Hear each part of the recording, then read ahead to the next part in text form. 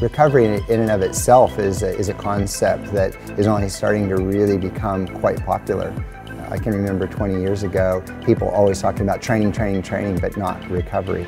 Um, and as we started to realize the importance of recovery for allowing people to string together very high quality training sessions, it was compression that emerged uh, first and, and, foremost in the catalog of options that an athlete could use.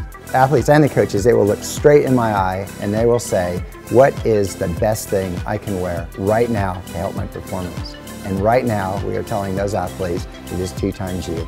This is the compression garment that we believe is superior in the marketplace. And this is the, the compression garment that we believe is going to give you the best fit and, and it's the one that we believe is going to give you the edge that you're looking for.